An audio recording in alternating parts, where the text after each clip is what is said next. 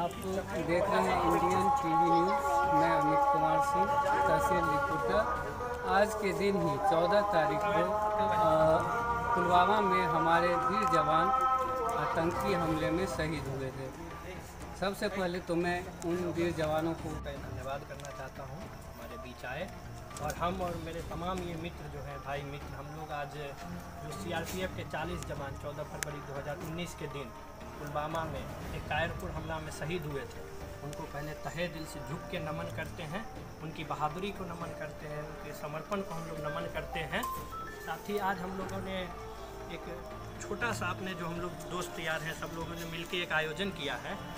हम लोग का यही मोटो है इस आयोजन के माध्यम से जो हमको उनका श्रद्धांजलि दे। और साथ ही साथ हम आप देख रहे होंगे, यहाँ पर तमाम छोटे बच्चे हमारे साथ हैं।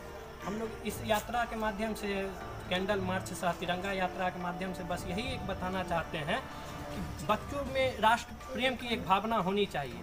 बच्चों में राष्ट्र प्रेम की भावना आनी चाहिए और एक रोटी भले ही कम खाए, लेकिन वो, उनको हम ज़रूर ये चीज़ सिखाएँ अपने देशभक्ति का, हमारे देश के लिए, जो हमारे जितने क्रांतिकारी हों, आर्मी वाले हों, सब शहीद हुए हों, उनके वैल्यूज़ को हम अपने बच्चों को समझाएँ, आने वाली पीढ़ी को समझाएँ। पुलवामा में हमारे 40 जवान शहीद हुए थे।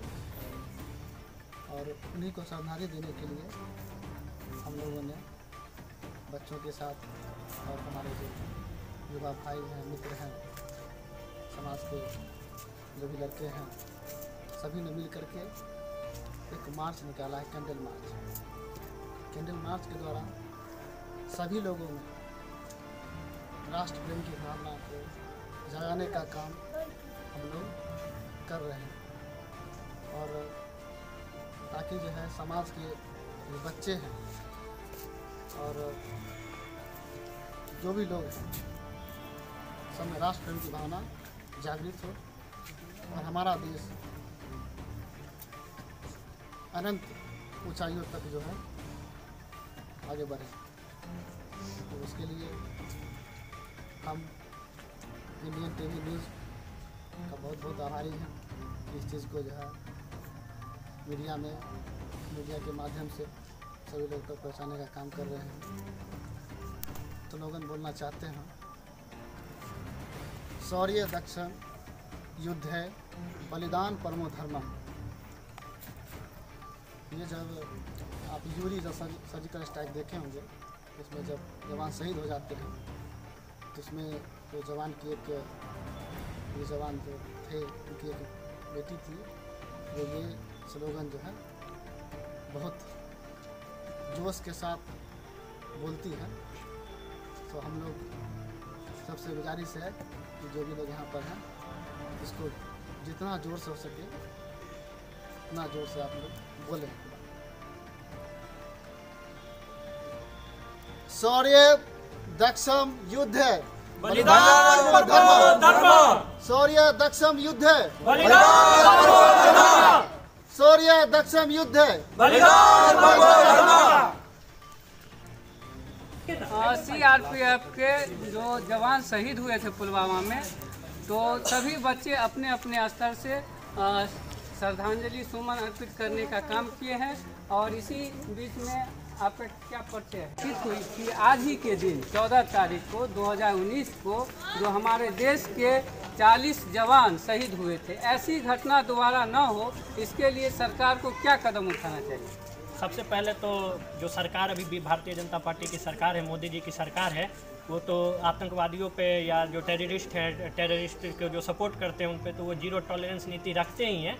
लेकिन सरकार से मेरी एक यही गुजारिश होगी कि आर्मी को फ्री हैंड दे दिया जाए। आर्मी को अपने हिसाब से टॉलरेट करने जैसे वो टॉलरेट करते हैं, उनको उसी हिसाब से करने दिया जाना चाहिए। आर्मी का अपना विंग होता है, उनके पास आर्मी है एयरफोर्स है नेवी है, उनका अपना इंटेलिजेंस होता है, उनका सारा कुछ अपना सिस्टम होता है। तो सरकार को उसमें अरंगा नहीं डालना चाहिए। जैसे हम कश्मीर में आए दिन वीडियो आते रहता था पहले, तीन सौ सत्तर हट, तीन सौ सत्तर हटने से पहले जो कोई आर्मी जवान पे पत्थर फेंक रहे हैं, कोई आर्मी जवान को गाली दे रहे हैं जाते वक्त तो जो हमारे रक्षा के लिए खड़े हैं, खैर वो जो गद्दार हैं वहाँ पे बैठे हुए हैं कश्मीर में, उनके लिए तो बहुत ही मतलब उनको शर्म आनी चाहिए इस चीज़ के लिए, लेकिन अगर कोई मानने के लिए तैयार नहीं है, सुधरने के लिए तैयार नहीं है, अगर कोई नमक हराम बैठा हमारे देश में तो उसको उसको नमक हलाली उसके लिए आर्मी को देना चाहिए फ्री हैंड मुझे पूरा विश्वास है अपने देश के आर्मी पे, जो उनको वो अच्छे से सबक सिखाएँगे, और साथ ही साथ ये जो गद्दार हैं जो हमारे देश का खाके, पड़ोसी मुल्क पाकिस्तान, चाइना जैसे कायर को, मैं तो उनको कायर ही कहूँगा क्योंकि उनको सामने से लड़ने का उन लोग का हिम्मत नहीं होता है, वो हमारे वीर सैनिक पे पीछे से हमला करते हैं, जो उनको गद्दार सपोर्ट करते हैं। उनको सीधा चौराहे पे, कश्मीर का फ़ेमस लाल चौक चौराहा है, वहाँ पे खड़ा करके गोली मार देना चाहिए सबके सामने में, एक मैसेज देना चाहिए, जो हाँ एक लेनिन के तरह नीति अपनाना चाहिए मोदी सरकार को, डेमोक्रेसी अपने जगह पे है, लेकिन देश से सुरक्षा के बड़ा कुछ नहीं है। तो आर्मी को फ्री हैंड देना चाहिए इस चीज़ और मेरा एक और प्रश्न है शहीद के परिवारों के लिए सरकार को क्या करना चाहिए? कि आपका तो ये प्रश्न बहुत अच्छा है। मैं इस पर बोलने बोलना चाह ही रहा था आपने मेरे से पूछ लिया। शहीद कोई भी होते हैं हमारे देश को सबको बुरा लगता है। बस ये एक कागजों में होता है हमने शहीद को ये दिया शहीद के परिवार वालों को ये दिया। उतना कुछ मिलता नहीं है। मैं नवोदय विद्यालय से पढ़ा हूँ हमारे साथ एक वीर जवान शहीद के एक बेटी हमारे क्लास की थी। बहुत मतलब ऐसा लग ही नहीं रहा था कि उनके पिताजी हमारे देश के लिए जान दिए हैं, क्योंकि स्पेशल ट्रीटमेंट मिलता नहीं है उनको। उनको बस एक साधारण जैसे, कहते हैं ना, जैसे आम आदमी जीते उनको ऐसा ज़िंदगी। एक आर्मी के परिवार वालों को, भले हमें, देश का हमें भले महँगाई, हम दो सौ रुपये पेट्रोल खरीद लेंगे, लेकिन हमारे देश के जो जवान हैं, उनके परिवार वालों को ऐसा सुविधा देना चाहिए, जो अगर जो बॉर्डर पे जवान खड़ा है, उसको गोली खाने में एक मिनट भी संकोच ना हो, ये भी ना सोचना पड़े, मेरे बूढ़े माँ बाप है, मेरी नई पत्नी है, मेरे छोटे छोटे बच्चे हैं, उनका क्या होगा मेरे जाने के बाद? इसका सरकार को पूरी व्यवस्था करनी चाहिए। सरकार तो घोषणा करती है, हम ये देंगे, शहीदों को वो देंगे।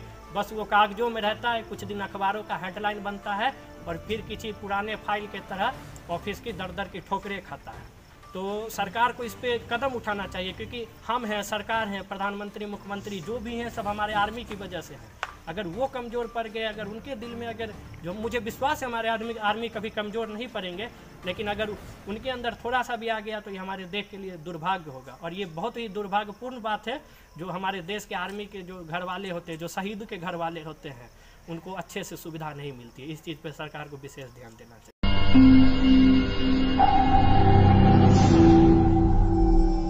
इंडियन टीवी न्यूज़ देश का तेज़ी से बढ़ता न्यूज़ नेटवर्क